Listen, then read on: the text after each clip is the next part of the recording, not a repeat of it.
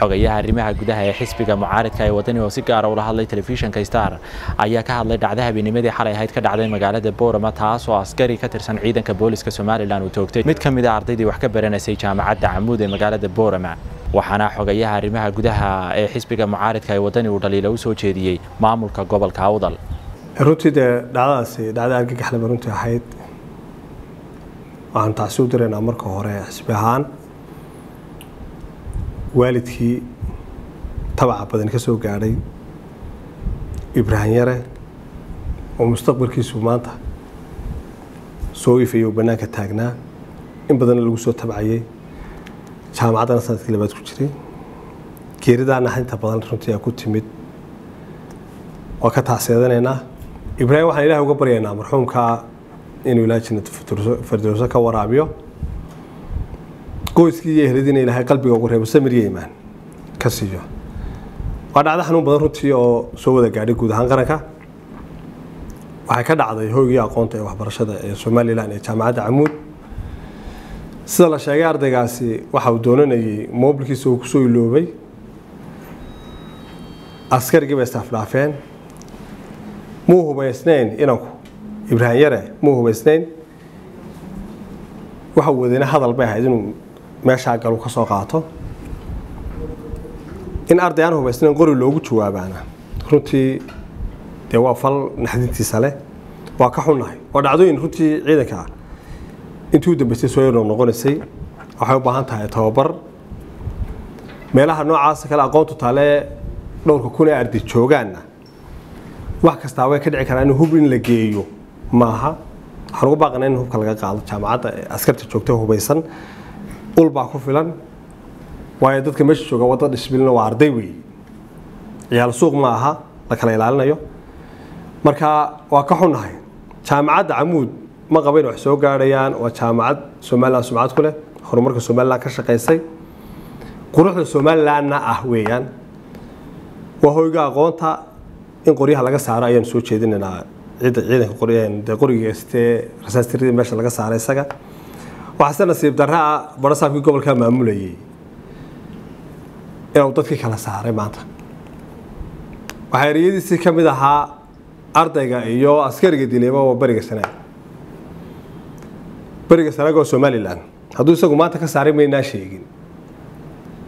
Kamana saari karo. Beriga somalilan waa beriga sanaag waa somalilan ardayga dhintay waa arday somalilana askariga dilayna waa askari qaran weeye oo shaqo qaran ku jiray oo dariiskii qaranka xidhan xukuumadda kulmiyuun bay ka mid tahay. Nidaamkeeda iskarabyaaca iyo faquuqa ay shacabka ay xukumayaan ay u kala samaynayaan inay markay shildhacaan xaggay odhan lahayn qarankaa ka mas'uula inay idhahdaan kaasina halkaas waha kaasina halkaas waha ceeb baanay ku tahay. Waxaan leenahay madaxweynuhu tallaabada ka qaada xogayaha arrimaha gudaha ee xisbiga mucaaridka ee wadani oo hadalkiisa sii wata ayaa ka hadlay dab habeenna ka hor qabsaday guri ku yaalla xaafadda laynka biliiska ee magaalada hargeysa halkaasi oo ay ku naf waayeen labada ubada oo uu dhalay mid ka mid a ciidanka qaranka somalilan. Waxaana uu madaxweynaha jamhuuriyadda somalilan ugu baaqay in il gaara lagu eego ciidanka qaranka somalilan. Askariga masiibada qaran ku habsatay ilahay waxaa uga baryaan inuu qalbiga ugu reebo ubadkiisii xisbi ahaan la dareen baanu nahay anigoo afka guddoomiyaha ku hadlaya waxaan tacsi u diraynaa iyo afka xisbigaba askariga isaga oo shaqadii qaranka ku maqan ubadkiisa ay ku basbeeleen. Waa masiibo dabiiciyo timid. Ilahay waxaa lena qalbiga uga reebo. Annagu xisbi ahaan wixii aan tarayno waan u tegi doonaa haddii la yidhaahdo waanan booqan doonaa askarigaasi. Maynaan arag marka laga reebo dowladda hoose iyo demdemiska. Xukuumaddii kale ee madaxweynuhu hogaaminayey oo ahayd askarigu inuu qiimo sare ugu fadhiyo. Meel ay ku tacsiyadeynayaan waa ka xunnahay runtii. Waxaan u baahannahay askar wasiirada fiyaadhada labalabada fiyaadhu wata.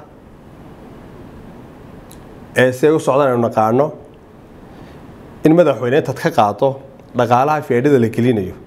In ciidanka dhaxanta iyo kuleylka iyo inoogu jira dhaska ee ammaankeena sugaynu ku seexano in iyaga iyo qoysaskooda lagu daryeelo. Ogayaha ayaa ugu dambeyntii ka hadlay dhalinyaro ku xidhan magaalada boorama kuwaas oo loo xidhay in magaalada boorama gudaheeda ay ku qaateen calanka soomaaliya. Qabno ama ma jirto tuhun ah reer boorama ama reer awdalba waxa looga shakisan yahay.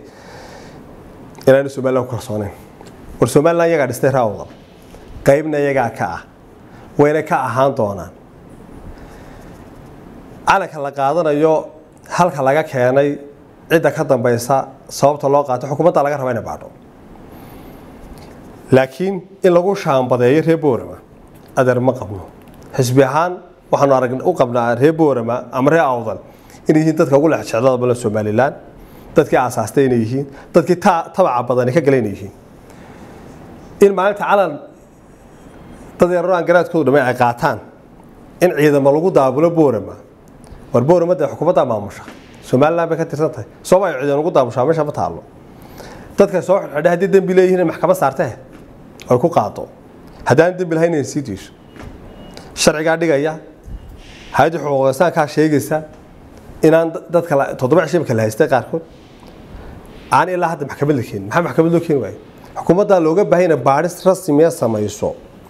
Laakiin magaalada inaanay ciidan ku caburin ciidan duldhigin oo aan dadka la khalkhalgelinin baan soo jeedinaynaa xariirka wasaar wararka telefishinka star hargeysa. Hadal. Oo hadal. Oo hadal. Oo ku hadal. Bishii oo dhan toddoba dollar. Oo keliya. Ku darso fariin kasta oo aad dirtaana waa kuu bilaash. haddaba si aad ugu shubato adeega kaafiye fadlan garaac xidig siddeed eber siddeed afargees ama xidig laba eber laba afargees isticmaal shabakadda ugu ballaadhan geyga somalilan